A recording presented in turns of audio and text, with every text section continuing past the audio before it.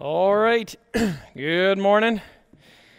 Okay, we are back in the book of John. This is uh, another popular story.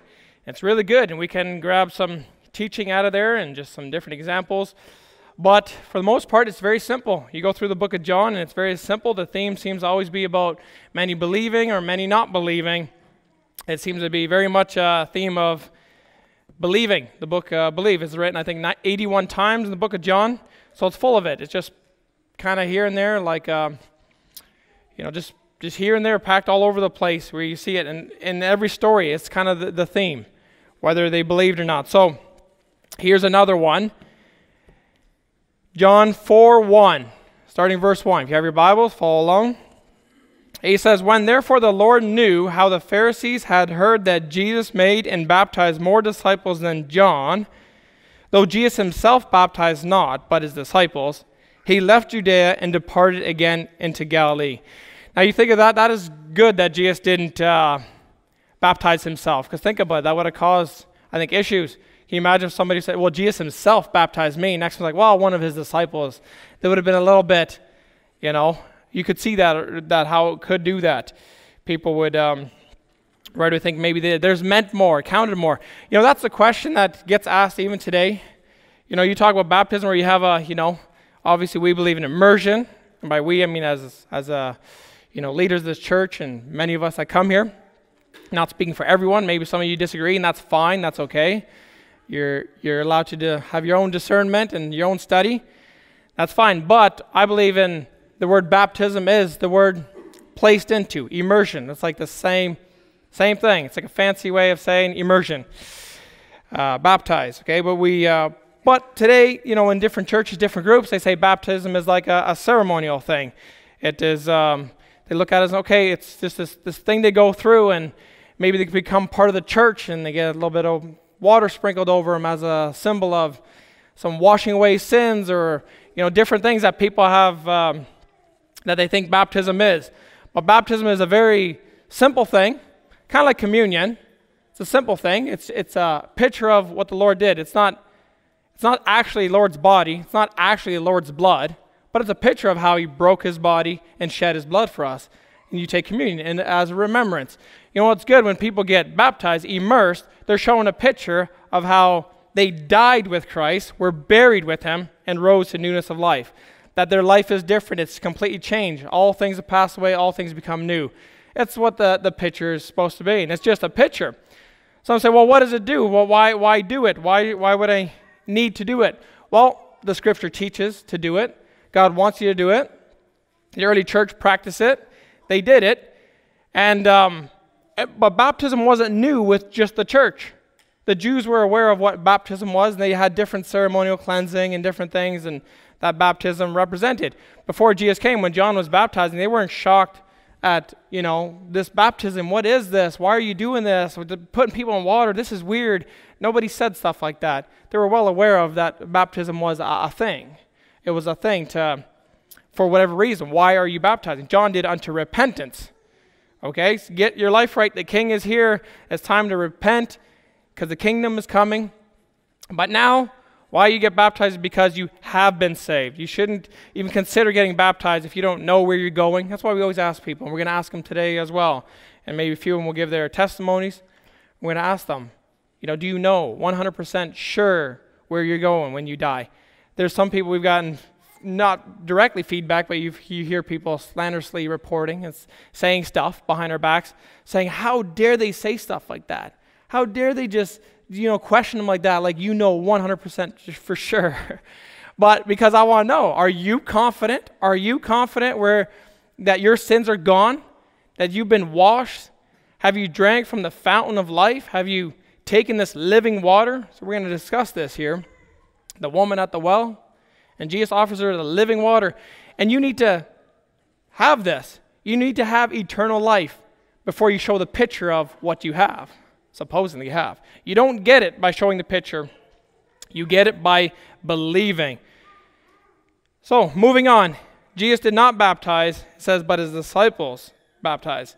So, when he heard this, it was causing problems already. So, he's like, he left Judea and departed again into Galilee. It says, he and he must needs go through Samaria. So on his way, he says, We need to go through Samaria. See, he had a job in Samaria. This was part of the plan. He says, He, need, he must needs go through Samaria. Then cometh he to a city of Samaria, which is called Sychar, near to the parcel of ground that Jacob gave to his son Joseph. Now Jacob's well was there. Jesus, therefore, being weary and his, and his journey, he says, sat thus on the well, and it was about the sixth hour. There cometh a woman of Samaria to draw water. Jesus said unto her, Give me to drink. So this is weird. This is right away out of, you could say, kosher in that, those days. A man, especially a Jewish man, shouldn't just talk to a woman, nevertheless, a Samaritan woman. It would seem weird. She'd be a little bit spooked by this. Why are you even talking to me? This is, this is weird. So you got to see this as, as that. It is weird. He says, For his disciples were gone away unto the city to buy meat. So it's just Jesus there and this woman now. Then saith the woman of Samaria unto him, How is it that thou, being a Jew, askest drink of me, which am a woman of Samaria? Two problems. I'm a Samaritan and I'm also a woman. This is weird that you're asking me that I'm supposed to get you, get you water. For the Jews have no dealings with the Samaritans. Now, there was some history here because Samaritans are, from my understanding, mixed. They're like half Jew and half Roman. They would be mixed blood, mixed breed. And the Jews would count these Samaritans, I mean, equal to like Gentiles. In some cases, probably worse. Probably worse. So they, they have no dealings with them. They looked at them as you're low. You're not part of our church, part of our group, not part of God's people.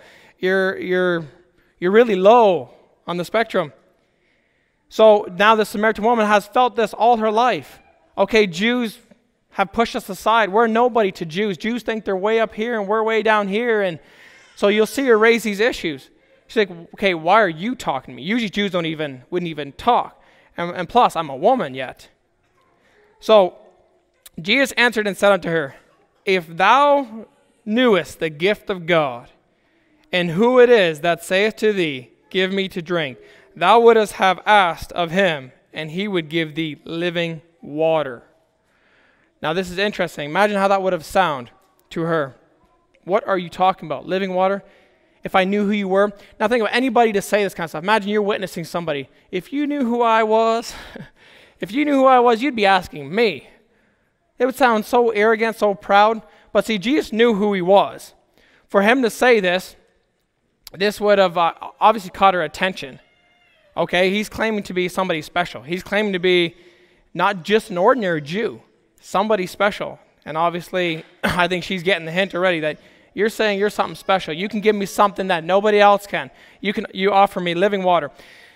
To talk about this living water a little bit, we know the story. We know what it is to be a Christian already. So we know that this is spiritual. That living water is that God is like a picture of living water. He's like a fountain. We have all these songs. I was asking Rick, hey, how many songs do we have about fountains, living water? And he's like, and he, he thought I may, maybe meant sing my favorite song again, Fountain Free. And uh, but no, no, not that one. but I was thinking there's there's definitely some songs you go through a hymn book, uh, Fountain Filled with Blood, and we were thinking about singing that one.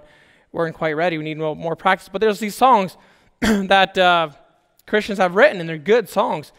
That God is a perfect picture of living water. That this water that that comes from even the throne, the Bible talks about the throne of, of water coming from the throne. It's clean, it's pure, it washes away, it does things, okay? It's, it's the water you want, the water you need. And he says, This water is satisfying. You know, if you drink good water um, with all the minerals and nutrients and stuff in there, and it's clean, it's pure, it's satisfying. But it's so dissatisfying to drink water that's dead. Water that's dead, that's stagnant, or it, it's so dissatisfied. And he's going to use this. We want to go into this a little bit. This is a good example. To say the living water is a great example of Jesus coming and saying, look, Judaism and even the, what the Samaritans' religion, this is old, stagnant, you could say cistern water. We're going to go into this. Water that just sits there. I mean, green stuff floats on there. It's dead. You don't want to drink it. You don't want to touch it. It doesn't satisfy. It's actually quite disgusting. And you know that's what religion is? religion is a picture of like a little dugout. Okay, and that's how we would understand it here in Alberta. Like a little dugout, you put water in, and I mean, it just sits there for years and years. Ducks go in there, birds fly in there, leave little frostings on there, snakes slither in there. And our kids loved it when we had the canal here, and that was even like kind of running water, but it was still kind of gross. but the kids loved going in there for a swim. My wife and I, we found it a little bit gross because you come out of there and you got sometimes bugs on you. They would actually be on you, like you have to wash off. It's kind of kind of gross. And we seen a little water snake in there. I mean, it's not something you just want to go and and drink of it. If you put it into your your, your holding tank, you definitely want good filtration system before anybody dares themselves to to drink it or do anything with it. You never know what's in there, what kind of diseases you could catch. You know, religion, let's look into it. Let's look into some Old Testament passages here. Look how, well, how God explains this. In Jeremiah 17, verse 13. O Lord, the hope of Israel, all that forsake thee shall be ashamed, and they that depart from me shall be written in the earth because they have forsaken the Lord, the fountain of living waters. So Jesus says, I am the fountain of living waters. See, outside of me comes this living water. Look at uh, earlier on uh, Jeremiah, Jeremiah chapter 2, verse 13.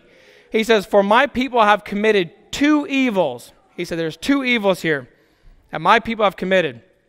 They have forsaken me, the fountain of living waters, that's the first evil. Second is, and hewn them out cisterns, broken cisterns that can hold no water. Useless cisterns. People have left where, where there's water flowing from God. God would be, it would be satisfying to just have God. But you know what the Jews did? They said, no, we want a king. You know, see, God was ruling over them, God was leading them. And you know what? People weren't satisfied with that. You know, we have the same issue today. People are not satisfied with, let's say, just being a Christian, being born again, complete in Him. When you have the Lord, somehow people get dissatisfied with that. And you think, no, nobody would. But there's people that do, especially people who have come from a religion. They get, well, we need a little more. Maybe if I went to go get baptized, maybe if I added something, you know, start going to church, reading the Bible. And even though these things are okay, good things to do, but if you do it because you feel like things are stagnant and things are just blah in your life, and you want to add, you want to add, that's where religion creeps in. You want to add things to your life. How can I feel spiritual again? You know, we're living in a time when the church wants to chase spirit again. Not like he's about to tell this woman that God wants to be worshiped in spirit and in truth. But we're living in a time when doctrines don't really matter, and I'm saying across the board of Christians. Yes, in certain little groups, certain areas, maybe they, in certain areas, it's the other way around. They really exercise maybe in doctrines. They have meets, excuse me, they have deep teachings, but nothing to do with the Spirit. They don't know how to be led by the Spirit to live the Christian life. But maybe they know a lot. They understand the Bible a lot, can really do well in Bible study and teaching the Bible. You need to have both. You need to have both. But right now, we're living in a time when people are living on a feeling. I, I, did a while back, I preached a message about feelings.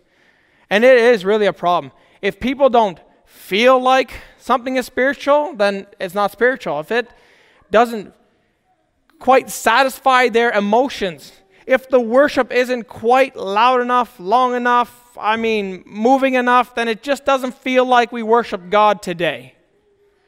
Your worship is based on a feeling, and it's very how you say it. And this they would take it as a compliment, but okay, it's very in their mind what they think is spirit led. But yet you're supposed to try the spirit. The spirit leads you to truth. It leads you to truth. And there is definitely emotions that come with it. See, I'm not just bringing down the emotions. The emotions are there. It feels really good to get saved. It feels really good being saved. You know, it feels good to talk about the Bible. It feels good to have Bible study. It feels good to sing. And it should. Those things should feel good. They should feel amazing to do that. Just to talk about our Lord, sing about Him, and you know these memories come back. Say, "Wow, God has done all these things for me," and "Wow, it's been this many years I've been saved." And where would my life be if I hadn't tasted this living water? No doubt it feels good, and it should. But when people rely on a feeling, when the feeling is they got saved on a feeling, they're staying saved on a feeling, and they're going to church for a feeling, it, it's, it's fake. And it just never is satisfying. You're always coming back. You know, there's groups, there's people, I've known individuals like this. They want to be involved in everything that goes on, whether at church or different events. Always going from one spiritual event to a next revival to this revival. Let's let's get fired up again. Let's get spiritual. Let's I want to feel saved again. That's what they don't say that out loud, but that's pretty much what they're doing. They're trying to they don't feel saved unless they're in church or in a revival or talking about the Bible. Somehow the day-to-day loving your wife, raising your kids, working on the yard, working at work, the day-to-day during the week somehow doesn't feel spiritual enough. They just don't feel spiritual doing that. Where is a, give me a spiritual event. Maybe we should take off of work and, and go to some big encounter and you know, talk about all our problems and everybody start crying and bawling. I mean, spiritual. That's what I mean. You see, you see, and many of you are like, we don't like that. yeah, because you've seen how much fake stuff is in that. When there's that alone, that is just so fake. It lasts so little while. And people think, wow, we had an interaction with God. We had an encounter with God. And they didn't. Because religion can do that. Religion and works can do that. You don't think a Muslim feels spiritual when he goes and worships Allah and prays for hours and hours? Just think about how he feels. Have you ever considered how one of those guys feels? When he leaves and you try to preach him the gospel and he would think, Are you an idiot? I just talked with Allah himself. And you're trying to tell me about some prophet that lived, Jesus, wow, Allah's the one God. And in his mind, he knows. Think about it. You, you, you think he's even, he's probably doubting less than a Christian even doubts. I mean, he's confident. He's confident enough that if somebody asks him, hey, God wants you to go blow up this building, and okay, God said to do it, do it. Think about it. You think this guy's, his feelings, he feels so sure that what he knows and what he believes is the real thing. You don't think Christians can get deceived like that? You don't think Christians can, oh, I'm, I'm sure I got saved. I, when I cried at the altar and I meant it what I said, and I, I accepted Jesus in my heart, you know there's people out there that did that and never got saved? I'm not saying all, but you know there's people out there that they're lost and they're going to church and they're going from feeling to feeling and then to the point where they feel like maybe they drifted away and now they need to rededicate. They go back to an altar and they do it again. I mean, this is in the, let's call it Christian world going on. This is going Christian churches where a little bit of doctrines are taught. And there's a lot of them lost, lost, lost, and have not experienced the living water that actually suffices, satisfies. Think about it. It needs to satisfy. If Jesus doesn't satisfy you, you might not have Jesus. You got to consider that. I mean, it's just it's you got to consider that as a possibility that Jesus himself, looking to him, whenever I would even come close to nowadays doubting my salvation or thinking, you know, did I really? And check yourself, all I do is look to Christ and I get assurance. I get my assurance from no other thing than looking to Christ and what he has done. And it, it does the job. And that's how it should be. You should never look back. What, what did I say when I first got saved? What did I do? What did I pray? That's irrelevant. So irrelevant. What about my baptism? So irrelevant.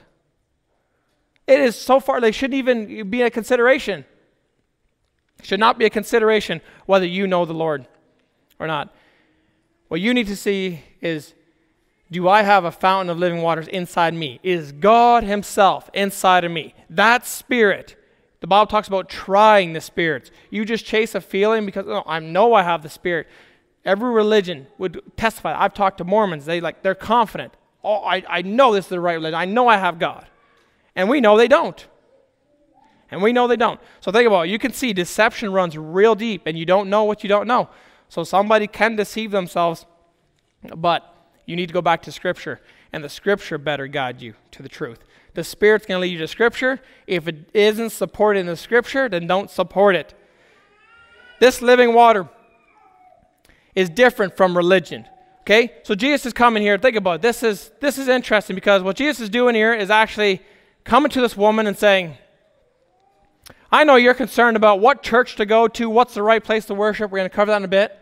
You're concerned about all that kind of stuff, but I want to tell you, this is a dead religion here. I'm bringing something new. A new dispensation is coming here. And don't be worried about whether the Jews are correct or you Samaritans are right and what place to worship. That's irrelevant. Because you want to worship God, it's going to be in truth and in spirit. And you know what? I'm bringing that. I, I am it. That's what he's saying. Without me, you can't have this living water. If you just knew who I was, if you knew, you know, so many Christians out there, if they just knew who Jesus was, maybe they wouldn't chase, you know, churches and doctrines and feelings so much. If they could just know who Jesus was. That is salvation itself. Once you know who Jesus is, he knows you. You're saved. That is salvation. Get to know the Lord. Immediately, you'll get saved. But if you're going to go dig your own well, dig your own cistern, I'm going to dig a hole and we're going to put some water in there and it's going to feel real good. The first day it's going to look decently clean. We're going to put water in there and we're going to go for a swim. This is going to be awesome. Day two, it starts to smell bad. Day three, it starts to. I mean, I just look at my hot tub. I got to sit there keep dumping chemicals in there no time. Stuff once it smells bad, once turn green, and you constantly cleaning that water, filtering it, filtering it, filtering it. Water that just sits there, especially warm water. If it sits, let the sun scorch on it. In my case, the hot tub, it hates it. It just gets bacteria and things so fast. you're constantly dumping chemicals in there to try to keep that water clean. Religion is really a body of little water and trying to trying to keep that stuff clean trying to keep keep up and just this water is just getting dirty it's just getting stagnant it just doesn't feel right doesn't seem right maybe it's not the correct thing and and you're right it's not religion just can't do it works obeying the 10 commandments just can't do it going to church reading your bible praying a lot fasting cannot do it you're going to feel as soon as you're not doing that you're going to not feel spiritual soon as you're not in the act of doing that you're not going to feel spiritual so Jesus coming here and saying, You're constantly coming back for another drink. That's really what religion is. That's the picture of religion here. You're constantly coming back, just like you need physical drink. Religion constantly requires another spiritual drink, another event, another thing, another thing, another going to the tabernacle, bring your lamb, do a sacrifice. Maybe I'll feel good again. And that's how that was in that dispensation. But the Lord's saying He's changing stuff. Now we look back in John 4, verse 11. The woman saith unto him, Sir, thou hast nothing to draw with, and the well is deep.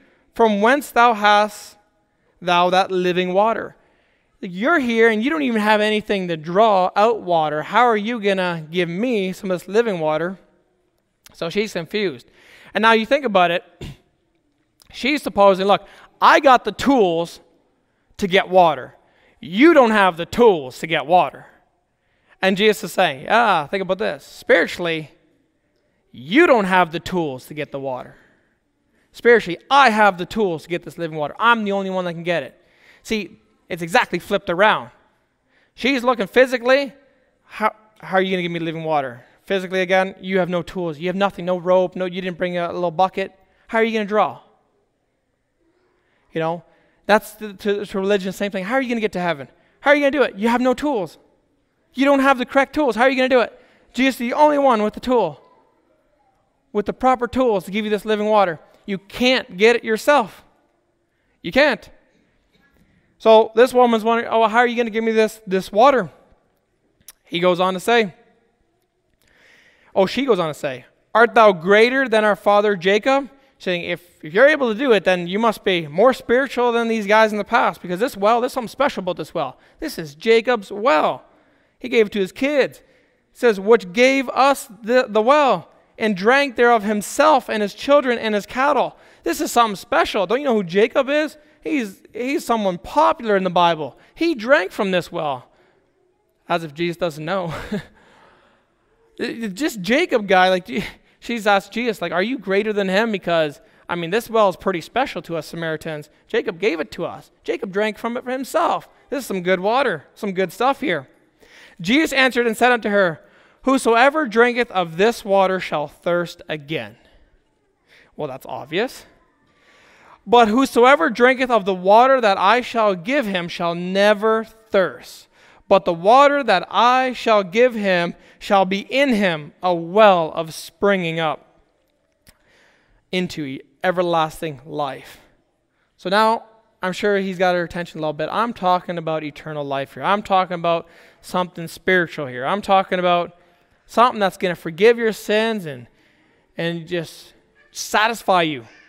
Because nobody is really satisfied in their religion. The woman say, saith unto him, Sir, give me this water that I thirst not, neither come hither to draw. Well, this sounds pretty good. One drink, and I never have to come here, draw. This sounds great. Jesus said unto her, Go, call thy husband, and come hither. This is a little bit interesting because, well, this is where it gets a little bit, you could say, confrontational. This is where, I mean, if you've ever done any soul winning, and you're out there and you kind of just start to break the ice, and you want to talk about the Lord to somebody, this is the part that gets sensitive. If you're going to point out any of their sins, okay, if you're going to point out people, I mean, you even suggest they have sins, this is where people get offended and they raise issues and they want to debate. Instantly, you're, you're, you're kind of, they're kind of getting in attack mode here because they feel attacked. This is where you got to be very careful when you're soul winning. Now, Jesus, I see him actually being very careful. I see how he's doing this. Very careful. What's awesome is that he says, Go call that husband. Now, he already knows she's living in adultery. She doesn't have a husband right now. She, he knows that. But what's, what's interesting to see is if there was a husband involved, I still see Jesus as saying, Let's go get the whole family here and we're talking to the whole family. He's not just going to go separately like a Jehovah Witness does. They like to come to your house and just talk to the wife, try to convert the wife, and go against her husband to the point if she gets starts come to church, they'll even if he doesn't want to come here, you should leave him. There's churches that do that kind of stuff. It's terrible. Jesus didn't do that. Jesus, if you have a husband, go get him. Then we'll talk about this more. Then I'll give you some of this water. I'll really explain it. You guys can come as a family to me. Okay, so that's thought number one. Now look on what else he says. He says, The woman answered and said, I have no husband. Jesus said unto her, Thou hast well said, I have no husband. In other words, you're being honest. You, it's true what you're saying. I agree. He says, For thou hast had five husbands, and he whom thou now hast is not thy husband, in that saidst thou truly. This would have, I mean, kind of sucked for her. But it's also a little bit of a miracle because this would have been kind of a secret. How do we even know she had five husbands in her lifetime in that same town? They could have been some from her like previous areas that she lived. So this would have been obviously, how do you know? You're a Jew. You never even talked to Samaritans. Here's a Jew, and how do you know I've been married five times? Now, here is where a little debate comes in because people like to think she had a husband, he died, she got married again, had a husband, died, and she got married again five times. I don't think so. I'm actually very confident I do not think so at all. I do not believe that. These are divorces and remarriages. Some say, oh no, Jesus would have never advocated that because there's a belief out there, very popular, especially in a Mennonite background, that once you get married to a woman, even after you get a legal divorce, and then you go marry somebody else, not as a sin to do that that that's not really your wife now. That's not really your new wife. Your other one is the real wife, and the one you're living with now is just an adultery. That's not true. Jesus recognized every one of these guys as husbands. And he's calling out on her things that she's done, like wrong. Okay, not just something, oh, I just know a secret about. These are, these are things that she would have been ashamed of. You got to see that. You got to see it in the context. She was ashamed of these things. This was supposed to be secret. This is supposed to be something she would even feel guilty about. I think Jesus is touching something that she has in her mind that she's, well, I'm a bad person. In other words, this is, if, if she ever thinks about if I'm spiritual or not, I'm sure she thinks, thinks of these things. Look at all these divorces. I'm with a guy right now. I'm not even married. That this is where she's under guilt. So Jesus is just attacking right the right spot, saying, See, you're a great big sinner. See, these are divorces and remarriages, and each guy was a husband after divorce and married again. Now, there's no wise that I'm advocating divorce and remarriage. But I do not believe that if somebody gets divorced and remarried, that they're still married to that first wife. But it is an act of a one time, let's say, an adultery, if you have not been cheated on. Okay? If the partner has not gone out on you, remember Jesus said, except for fornication. We're not going to cover it too deeply, but we've done this before. You can go look at the, my Matthew series and stuff where I talk about this kind of stuff. And they're going a little bigger detail. But he, he's, he's recognizing every one of these as husbands.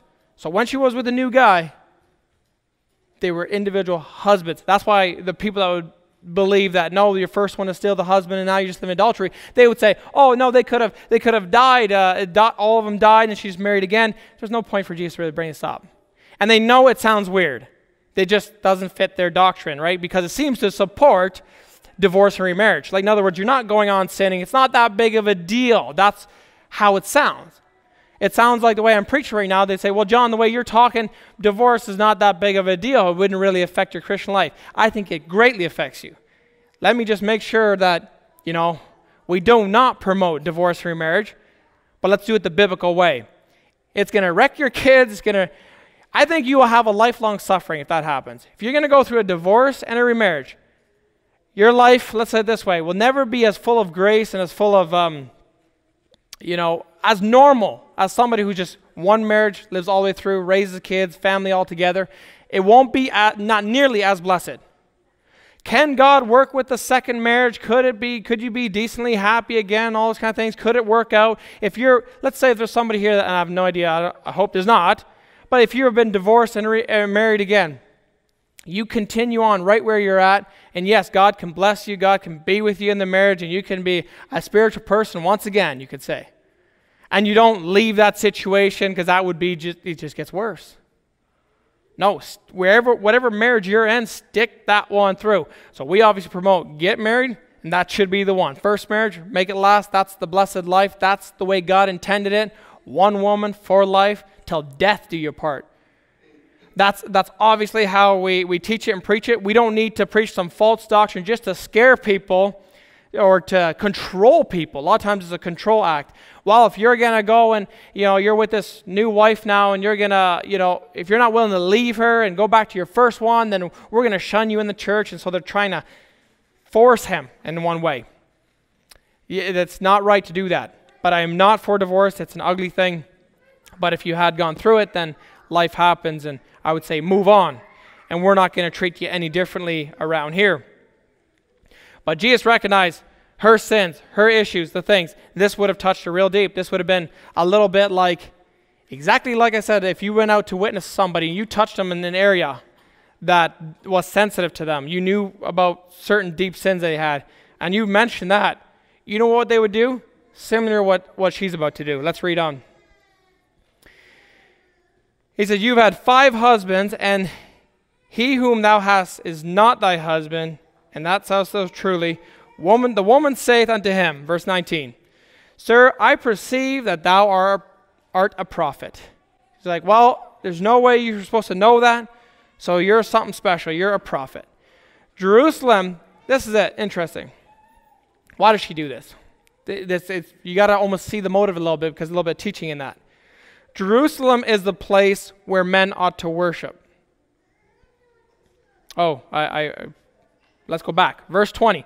Our fathers worship in this mountain. And ye say that in Jerusalem is the place where men ought to worship. Right away, she wants to know what's the correct place to worship God. Let me first even explain something about worship. Because you hear from time to time, and I don't want you guys to be confused in this, okay? But you hear from time to time, people will even come around here and they'll ask, How is your worship? Now, I've been around long enough to know they mean, how's the singing? How's the singing? You know that the Bible doesn't say worshiping is singing. Okay, now certainly you can worship God by singing, but I mean, people look at worshiping as solely as singing to the Lord. Yet, being, being obedient to the Lord is worshiping the Lord. Praying to Him is worshiping. I mean, just walking after the Spirit is worshiping to God you will see it not, it's not, he's not saying we went up this mountain to just sing a song there, to worship the Lord. And the Jews just go into the temple to sing a song. Certainly they did that. But it was a place of worshiping God, doing what God wants you to do, and giving Him praise. Yes, there's praise, honor, glory. You'd be praying, you could be loving the brethren. All these things are, when they're pleasing to God, you are worshiping God. He's saying, in other words, when you sincerely love God, follow God, you're worshiping Him. Okay, you'll, you'll have passages like where the, a guy was healed um, and, and he went worship Jesus saying. So, in other words, what he said to God, like, wow, thank you for doing this. This is amazing. Thank you so much. Or whatever. He, he would just thank Jesus. It was called that he worshiped Jesus saying this and this. He didn't start singing a song. You see? So the word worship is not synonymous with going to church and singing. So people say, How is your worship at church? Well, you're biblically what you're actually asking, you don't, but I know you're not. But what you're actually saying is, How is everything spiritually? How do you guys, how pleased is God with you? Are you guys actually worshiping Him? I would say we are. I would say, Yes, I believe uh, when I, we come here and we, we hear God's word, we sing together, we pray together, just the whole meeting all together. Yes, I wouldn't do it if I didn't think we're not worshiping God. We do this because we're honoring, glorying, uh, praising God's name, talking about it, these kind of things. So that is worshiping. Okay, she wants to know where do you go? Where does God want you to go? What is the correct place to worship Him? In that dispensation, in the Old Testament, still here, Christ had not yet died. This is still fully Old Testament, even though it's in the New Testament. You guys see it. There were different times. There was a correct place to go worship. And it was in Jerusalem. So she's asking a little bit of a tricky question. It's actually kind of a, a debate question here. Well, you're a Jew, okay, and I see that you're something special. You just prophesied here a little bit. You knew something that nobody else knew. What do you say? You know what? She's already a little bit defensive about it. Are you saying I don't go to the correct church? Now, I've had this, and maybe many of you had too. You go to somebody, especially if they have any religious background, and you preach, hey, you must be born again, you try to teach them. Why? Why are you saying that? You, you think that, what, if I go to Old Colony, that's not good enough? You don't, th- you don't think my baptism counts? You oh, also you think that this just means nothing. Your church is perfect and everybody else is off the way to hell. Is that what you think? That's kind of what she's doing. So what? We're bad people. Us Samaritans, we're no good. The place where we worship, that's not actually worshiping God. That doesn't count. It's in Jerusalem. I'm guessing that's what you're about to say, right? You're the only correct church. You're the only correct group. Is that what you're about to say? See, that's what she's expecting. Now, I don't think she had quite that attitude, but nonetheless, her first thought is the same thing as you'll come across when you go preach to anybody a little bit religious. Oh, what? So you want me to go to your church then, eh? Our church ain't good enough. Our church doesn't have the gospel preached. You think only your church preaches the gospel, nobody else preaches the gospel? You hear stuff like that, right? As soon as you suggest they need something because they thought they were perfectly okay where they're at, and you go suggest that they need to get born again, they're going to assume, oh, so where I go and worship is not good enough, eh? He says, listen to this. He says, Where do you say? Verse 22 Ye worship ye know not what. We know what we worship, for salvation is of the Jews. He says, You don't really understand this. You don't really know the whole picture. You don't really understand this. Say, we, the Jews. He says, Salvation was of the Jews. Okay, that's just all over Scripture. Nowhere in Scripture do you find anything positive even about Samaritans. Okay? Nothing spiritual ever happens other than Jesus sitting down here and now a bunch of people start following him. I mean, this is the only thing we even hear about Samaritans being anything special. It's after Jesus meets with them.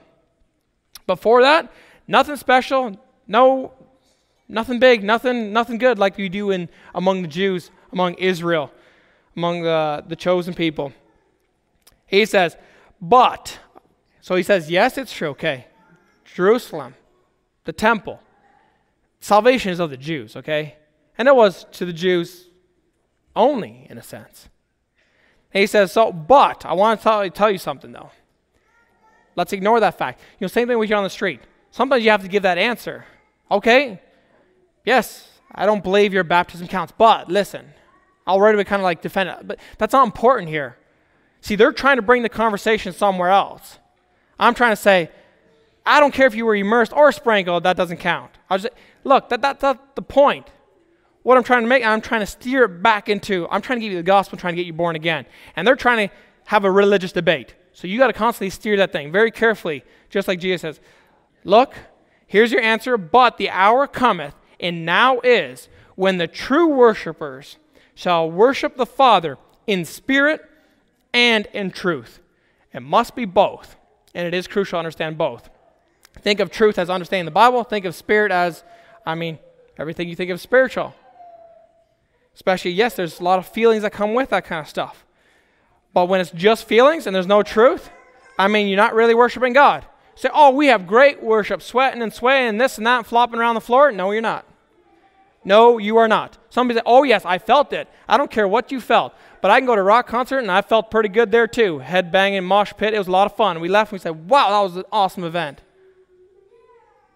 Okay, and it had all kinds of feelings. Like this is, wow, that was such a great experience. And it's no different. Feelings, we're human. You're going to have feelings. When you had enjoyed your time in the flesh, you enjoyed, and but you say, no, but this was godly. This, look, you need to really look. If it, look at truth. Look at truth. You can't just have this spiritual feeling without the truth. You shouldn't have truth without the spirit. You should they should go together. The spirit should lead you in truth. For the Father seeketh such to worship him. God is a spirit. He wants you to know something. This is why it's like that. This is why God doesn't care much about your church building, your events, your stuff, your religion, the things you do, the clothes you wear. Why God doesn't care too much because he's spirit. God is a spirit. He wants to get you more like Him. Right now, we're so far like Him. He says, Look, God is a spirit. If you're going to worship Him, you're going to talk to Him, you're going to praise Him, you're going to glorify Him, you're going to honor Him, you need to see who He is. He is a spirit. He's not trapped in some body. Okay, He came down in a body for a time. But think about it. He says, God is a spirit, and they that worship him must worship him in spirit and in truth. He says it again. The woman saith unto him, I know that Messiah cometh, which is called Christ. When he come, he will tell us all things. What he's saying is, man, the stuff you're saying right now, like, maybe you're not just a prophet. Because I do know when the Messiah's come, she's heard this before.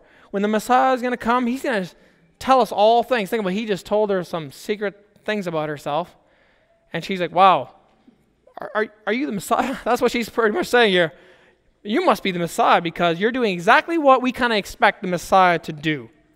Jesus saith unto her, I that speak unto thee am he. Wow, that was simple. Wow, that was blunt. Why did Jesus not do it to the scribes and Pharisees? They often ask them, Hey, by whose authority are you baptizing?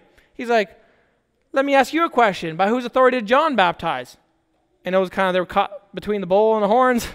And they're like, well, we cannot tell you. He's like, I can't tell you either. In other words, you can't answer my question, I'm not answering yours. He didn't want to answer theirs. He knew they couldn't answer his. So he trapped them to avoid telling them. Why? Because his hour was not yet. He knew that as soon as he was that blunt with them, they'd kill him too soon. But with the Samaritan, he's not worried about her. He's not worried about telling her, being right blunt. I'm the Messiah. I am he, the one talking to you. I, am the guy. I'm the one. I mean, she could. He was just right blunt, just straight to the point. He, he couldn't do that with the scribes and Pharisees. I And what's he going to do? Write up a report and go tell the Jews? The Jews and Samaritans didn't have any dealings. So he's being real bold, real blunt with, with the Samaritans here. He doesn't fear them at all. They're not going to mess up the prophecy here. he says, And upon this came his disciples. So around this time, the disciples come back and marveled that he talked with the woman. Yet no man said, What seekest thou, or why talkest thou with her? They knew, obviously, he knows what he's doing, but they're wondering, What is he doing? Why is he doing this? They had probably so many questions. What's going on here? I thought salvation is of the Jews. I thought you just care about us. And you see their confusion? the woman left her water pot and went her way into the city and saith to the men, Come, see a man which told me all things that I ever did. Is this not the Christ? So, see, she's pointing, saying, He was able to name these sins of mine. He was able to tell me these things, know things about me. He's like, This got to be the Christ, right? And what's interesting is she doesn't go tell a bunch of women. She goes tells men. Maybe she just had men friends, or maybe she really need, get the important people out there that have any kind of authority in their groups, their settings, and maybe that lead the worship on the mountain. Whatever it was, she goes and tells the men, Come and see. I think this is the Christ. Like, you guys need to confirm this. She's a believer. And what indicates that is she leaves her water pot. She leaves her water pot. She's a believer. She, wow, this is the guy. She's forgot what she even came to get water. Obviously, she's going to need to still drink as long as she lives. But think about it, this is a perfect example of she doesn't need that water pot spiritually anymore. Spiritually, she doesn't need it. Drop it. You know, religion, same way. Drop the religion. Drop the religion. When you have Christ, drop the religion. You don't need it. I'm not saying dropping good works, but drop the religion, drop the act. Make sure it's real. Whatever you got, whatever you're doing, do it for real. Do it because you love people. You know, we were talking about being hospitable and stuff like that because we were in the chapter of First Peter. We we're talking being how we're supposed to be hospitable to one to another and stuff, and without grudging. You're supposed to do this without grudging. And you think about that kind of stuff. Religious people, they'll have people over or something, but they'll a lot of times grudge about it. They, they won't actually enjoy it. They won't actually enjoy their time. They won't. They do it because they feel like it's their duty. Hey, as a church, have each other over, invite each other over. Don't do it if you don't actually want to. Don't do it with grudging. In other words, don't do it to play some religious game. Hey, these other people all have people over. Maybe if we want to be good Christians, we need to have people over. For, that's the wrong reason. Have people over if you actually want them over. They only want to come to your house if you actually want them. Okay? So don't invite somebody if you don't actually want them over because you're being a two face. If you actually want to get to know people, you actually want to love them, and you actually want to bless them, give them food, do it with that. And everything you do, it should be done like that. It should be done for real. It shouldn't be done because of some religion. Drop the water pot. Stop drawing your own water. Stop digging your own wells. That's the message here. Moving on, he goes to say, Then they went then they went out of the city and came unto him. And the meanwhile, his disciples prayed him, saying, Master, eat. So they just bought food and they say, Eat. Here, you must be hungry. You, got, you need to eat. But he said unto them, I have meat to eat that ye know not of. Therefore said the disciples one to another, Hath any man brought him aught to eat? And they're confused. What, you, what is he talking about? He has meat. Now he just talked about water, like spiritual water. Now he's talking about spiritual food. He's like, look, I have food that you guys don't quite understand, that you don't you don't have. You don't have access access to it like I do. Now there is some teaching in this here too, and if you've done any again soul winning preaching or teaching, you will know that food sometimes can actually just slip your mind. A lot of times I'm preaching, I'm caught up. See, for you guys, you get hungry. All of a sudden, you're like, man, I'm physically hungry. When is he done preaching? How long is this going to take? But it feels different when you're preaching. When you when you worked on a message, you have so much to say and you're excited about it. You get excited about it, and you're preaching. I really do feel like you're being fed. As soon as I'm done, I'm like, wow, I'm hungry. All of a sudden, it kicks in like, okay, now let's go to the house and eat. But a lot of times you forget. You forget about food. You can do a study sometimes, and you can just study through supper, this, and like, I don't want to eat. Like, I don't need to eat. Like, you literally feel like I don't have an appetite. And it is weird. I think more people can testify this, this feeling. How sometimes you can maybe witnessing somebody for hours, and you're not eating, drinking, you're not food and drink, and all that is the last thing on your mind. You're just so caught up, it can be for hours. And you're like, you're, you feel fed, you feel satisfied. You're not thinking of food at that time. I mean, if you think about it, that is a version of fasting that is different than you know people going into it willingly. Okay, I'm not going to eat for three, four days. And I can see that as being a real challenge and stuff. But this way of fasting is different. It's actually a whole lot easier because you feel like you're actually being fed. You actually feel like I, I'm not thinking of food. I don't need food. I'm busy right now doing something spiritual. So this is interesting. For Jesus to say this, you can actually relate to this kind of stuff. You can actually relate that God actually feeds you. God can actually get your mind off of food where it's like, I don't need food. I have meat that you guys don't, don't understand. Jesus saith unto them, My meat is to do the will of him that sent me and to finish his work. When you're ministering, when you're doing that kind of stuff, you're being fed. God is feeding you to do his work. He will give you what to say, what to do, and it is satisfying. Say not ye, there are yet four months, and then cometh harvest. So it is kind of obvious that he's probably talking about that time that, look, right now, uh, about another four months, and harvest is physically there around where they live. But he said, don't say that right now. Don't say that harvest is four months from now. He says, Behold, I say unto you, lift up your eyes and look on the fields, for they are white already to harvest. Now, what Jesus is saying here, uh, this is what I believe that he's saying here. The woman just ran into the town. She's telling the men, and the men are now on their way to go meet Jesus, see Jesus. And he's up on this hill where this well is with his disciples, and he's saying, Look out in the field, and he's seeing the people coming. He's saying, That's the harvest. That's what we're harvesting right now people. He says, The, the harvest is ready. Don't say, He says, Look out there ready. And you could see probably a bunch of little these white robes. He says, Look at the field already, and people coming. Okay, Jesus had great success here preaching. And he says, Look at, don't say that, oh, you know, harvest is later. It's now. He says, Look at the fields. He says, Lift up your eyes and look on the fields. They are white already to harvest. 36. And he that reapeth receiveth wages. He's telling guys, guys, reap the harvest. You're going to get wages for this. I'm going to reward you for this. And gathereth fruit unto life eternal, that both he that soweth and he that reapeth may rejoice together. Jesus just sow, okay? And now the word's being spread, the, the seed has been dropped, and now it's ready for the disciples to actually reap the harvest. And he says, Look, we're going to rejoice together. He says, We're, we're in this, this work together, the Lord's work. And herein is that saying true one soweth, another reapeth. Sowing is when you go to a place where, I mean, nobody's really dropped the seed. There's nothing that could take root. They haven't heard about Jesus. They don't know about him. They don't, they don't know what to think. They only know their religion. You go to a place like that, you are sowing.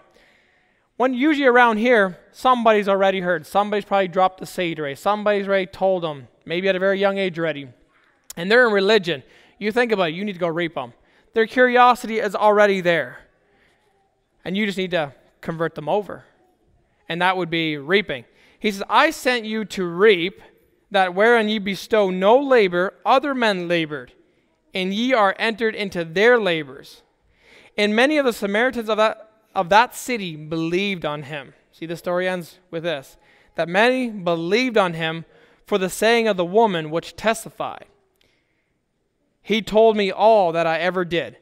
So when the Samaritans were come unto him, they besought him that he would tarry with them and abode, and he abode there two days. This would have been odd and weird for a Jew to do this. You don't just stay the night, eat their food. With Samaritans, Jews wouldn't have done that. Jesus and his disciples now did. And many more believed because of his own word. See, so many weren't quite convinced just hearing the woman's testimony, but she did get a lot of converts just telling her story. But he says, many of them later, after they heard Jesus himself, then they believed of his own word. And they said unto the woman, Now we believe, not because of thy saying, for we have heard him ourselves, and know that this indeed is, is indeed the Christ the Savior of the world. Now, after two days, he departed thence and went into Galilee, for Jesus himself testified that a prophet, ha- prophet hath no honor in his own country. So Jesus himself said it. Look, in your own country, you're not going to be as effective. And he says, so he's leaving the, the, the place. Then, when he was coming to Galilee, the Galileans received him, having seen all the things that he did at Jerusalem at the feast, for they also went unto the feast. So Jesus came again into Cana of Galilee, where he made the water wine. And there was a certain nobleman whose son was sick at Capernaum. When he had heard that Jesus was come out of Judea into Galilee, he went in unto him and besought him that he would come down and heal his son, for he was at the point of death. Then said Jesus unto him, Except ye see signs and wonders, ye will not believe. Jesus always seems so disappointed that people don't want to believe until they see signs. So disappointed. He says, The nobleman said unto him, Sir, come down. He says, Or my child die. He said, Look, if you don't come, my child's going to die. Jesus said unto him, Go thy way, thy son liveth. And the man believed the word that Jesus had spoken unto him, and he went his way. And as he was now going down, his servant met him and told him, saying, Thy son liveth. Then he inquired he of, of them to uh, of them the hour when he began to amend. And they said unto him, Yesterday at the seventh hour the fever left him.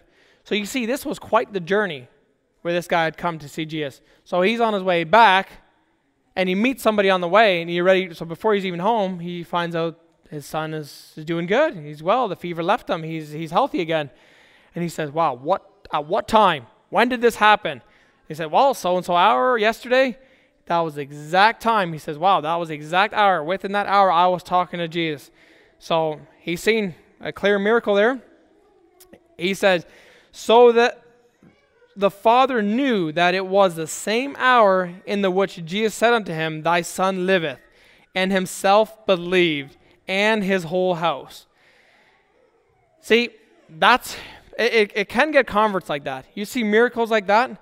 So this guy is he's believing Jesus. Hey, go home. He's gonna live. On his way home, he finds out, okay, well, wow, he's healed, completely healed. Once he sees the miracle like that, now it says now, now he's really secure. Now he's really believing, well, that was the Christ. I just met the Christ, the Messiah. And it says his whole house. I mean, that's how it should be. You think about somebody converts, somebody believes. I mean, you'll see this often in Scripture. The whole house believes. I think today, just a thought here, why it's not so popular is because families are so divided. If families are really like together, together, and close, I think when one of them meets the Lord, I think it's very easy for the whole house to convert. If families were very united, very close. I mean, their thoughts, their feelings, their everything, they're tight, a tight family. I think a tight family, the way Lord, the Lord intended it, I think if the husband gets saved, no doubt the wife and kids will follow. I think that's how it should be. That's how you'll see it often. Oh, him in his house. So he's, they see this miracle, and the, obviously the whole house converts. I think even if there's servants or any of that kind of stuff, that's what it means, the whole house. Anybody around, connected, involved, that believed. It says, and, and his whole house. This is, again, the second miracle that Jesus did when he was come out of Judea into Galilee.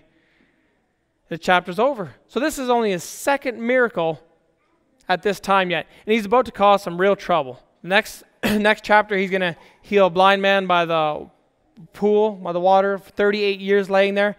And it's on Sabbath day. And anything after that, I mean, the Jews are just out to kill him. And they're bringing this up. They're bringing stuff like this up.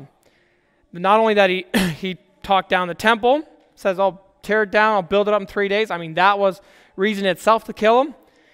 But once they, he starts, it looks like he's breaking laws. He's healing on a Sabbath, breaking one of, come on, they dug a cistern. They had this, this system and way of living, and this was good. This was the way. Jesus comes, says, I have something better. I have living water. I have meat that you guys don't know of. You guys don't understand. I have something better, something else. If you guys just knew who it was, he's thinking, well, you guys would be asking me. You'd be following my religion. But when people make their own, they follow their own. I mean, it, it, it gets terrible. And you, you will reject Jesus himself. See, by following religion, I'm going to end with this.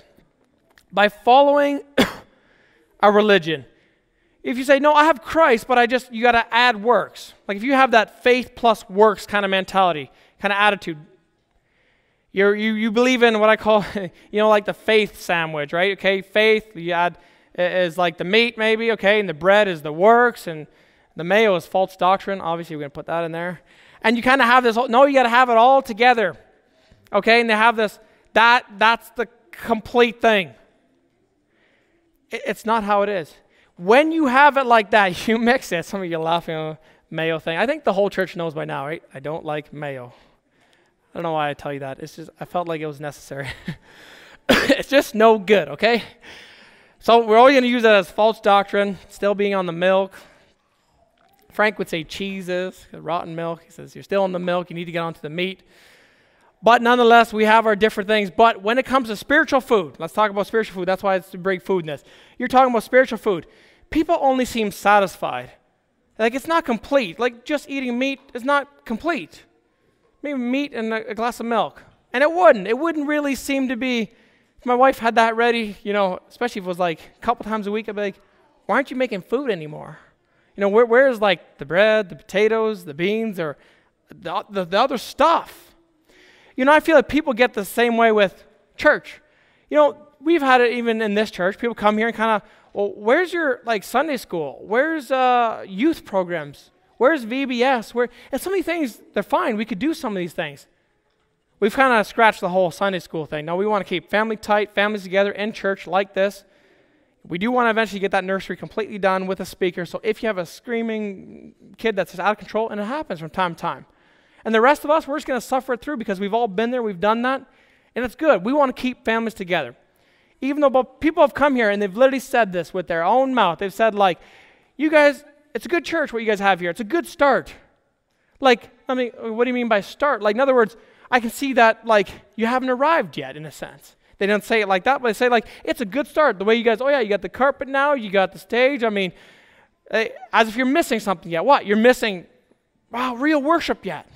You're missing that and maybe some Sunday schools and youth programs and, you know, maybe, okay, send out some missionaries. And some people feel like we, we need more things because I wouldn't feel spiritual enough coming to a church like this.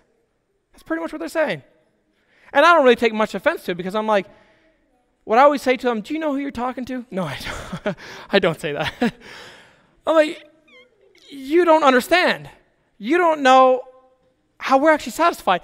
People are shocked that, that, you, that many of you are satisfied with this. You know, people that have been in church and different religions for so long, maybe come check out this group. They've said this. You know, they've said this right to me. I've had a few people say this kind of stuff, not more than one. Along these lines, I'll paraphrase a little bit, but along the lines of, this is a good start. It's like an early church just starting, and it, that's all good. And, you know, wait till you kind of arrive, till you really, kind of like where I go to church. Like everything's there. We have everything, like everything's in place, you know, like all the proper people, proper things, proper programs, everything. Because they cannot believe that guys like you guys would be actually satisfied with just Bible doctrine, sing a little bit, pray, and just, you know, we, we keep it simple and then we go live our lives. You know, some, just very few come out on Friday Bible studies. Some have different groups they go to, do their own thing, studies on themselves, take a weekend, go camping. And a lot of people just wouldn't feel spiritual enough like that. Like, how, how do you feel satisfied with a church like that? How do you feel, okay, it's, I wouldn't feel spiritual enough. That's pretty much what they're saying. They are saying, I know people well enough, and you know too. They say it's just you need more things. There's got to be more fired up things happening, things that just really move our spirits. Otherwise, we we're just just Bible doctrine and I mean just living for the Lord. You know, like you you need something more emotionally stir people. Nobody ever cries in your services. Nobody ever just starts swaying like crazy. I'm like, yeah, we do sometimes. But we still have a Mennonite background. That's hard for us to do. I'm okay if you guys want to do this when we're singing. I'm okay. Whatever. But you, you know what I mean? But some people say, no, you're not even worshiping if you don't do that. I disagree with you. Of course I'm worshiping. And the person that's just sitting there on, amazing grace, not making a scene. I'm not thinking, oh, he's stagnant. He maybe not even saved. Oh, he's, he doesn't nearly love the Lord as the next guy. That means nothing to me. It means nothing, guys. I mean, if you want to express yourself one way, totally fine. Told you're actually totally free to do that. Don't look down on people who do express themselves. Um, let's go on the flip side. If somebody wants to express, if that's their way of, that's awesome. That's fine. That's fine. But I do have a problem with people say, well, you're not really worshiping then because that's just not true. And then I see their low understanding of Scripture, their low understanding of worship. That go home, love your wife, go have a good marriage. That's, that's honoring to God. Go train your children, get them to love God. Wow, you're a spiritual person. Do that. I mean, that's a good start. And I would say start with that. And then when there's time, come to church, you know, hear a message. Invite each other over, have each other over, get to know other Christians, hear their testimonies. If somebody's doubting their salvation, maybe they rely on a sinner's prayer. Be hospitable. You're like a hospital to them. Give them the gospel. Share it. Make it clear to them. Give them something that you've learned in the scripture that God has done in your life. they can walk away and feel healed, feel amended, feel uplifted, and they go away worshiping God. And the next week, they're at work, and man, now the gospel makes sense. Finally, we went to so and so house, and the way he just explained it was a much better job than John Bolt did. And he explained it now, it just makes sense. And he's worshiping God all week. That is awesome. And if that person comes here and just sits here quietly and just interested into the Bible and stuff, I mean, he's spiritual. Real spiritual. You see my point and this kind of stuff? But people have this outward visible thing. We want the outward, we want the feeling, we want the stuff. And I do too. Uh, to a certain extent, I do too. I want that to be a result of it. I want to see some outward things as a result. First of all, it's a good testimony. I want people to see that I love the Lord. I want people to see my good works and then be, I want that life. I want that. That way, when I witness to them and say, Yeah, I want what you have, I can see that you love God. That's good. That's good. But if that's all you have, you're just striving for that. You are a man, dig, a woman digging your own cistern, putting some water in there, and wondering why it goes bad, why it's not staying fresh, because it needs to be running water. It needs to be flowing. And only Jesus can draw you that kind of water. Only Jesus and Jesus Himself. When you believe and when you trust in Him alone, it suffices. It is enough. You feel satisfied. And you come to church with other people who are like minded and you say, No, it's good. Yeah, well, nothing, it's good. It's fine. These people, they believe it like I do. I'm happy to go to church that people believe what I believe. That is shocking in itself that, you know, you can find that nowadays. All right, I said I'd be done. Let's pray and then we'll have some fellowship. Heavenly Father, we just thank you again for just all that you, and most of all that you died on the cross for us and paid our sin debt. And Lord, you are satisfying to us. Many of us can testify that, agree to that. We're going to uh, plan on, Lord willing, Lord, we want to do a baptism and show a picture of what you've done in, in their lives and maybe uh, give them the boldness to share testimony and, and explain to people um, how it is that they come to, to understand this, to take a drink of living water, and why, um, why it is that they, they now believe. And Lord, that is a beautiful thing. Maybe others can stand by and hear and wonder and, and want the same thing. Maybe somebody that's lost. Lord, let this be a picture of how you uh, came into their life and just turned it around, changed everything, and for the better. We thank you for doing that. We thank you for leaving us a book that we can trust, read, and study and preach out of. Lord, I thank you for giving me this message and just the gift of teaching and preaching. Lord, I hope it uh, makes sense. Lord, I pray that you would do a work even during the week in their people's minds. If there's any questions or thoughts, Lord, that they would study for themselves also and maybe uh, ask questions, but not just stop there, not just. Um, just go back to their religion, go back to whatever it is they always believed. Lord, that we would see and want to believe what the Scripture has to say, what you have to tell us. Help us to do so. We always grow and learn. And I just ask uh, that you bless each and every one that came out this morning. Bless them with a good time, keep them safe, and, and that they enjoy great fellowship with one, one with another. And I thank you again. In Jesus' name I pray. Amen.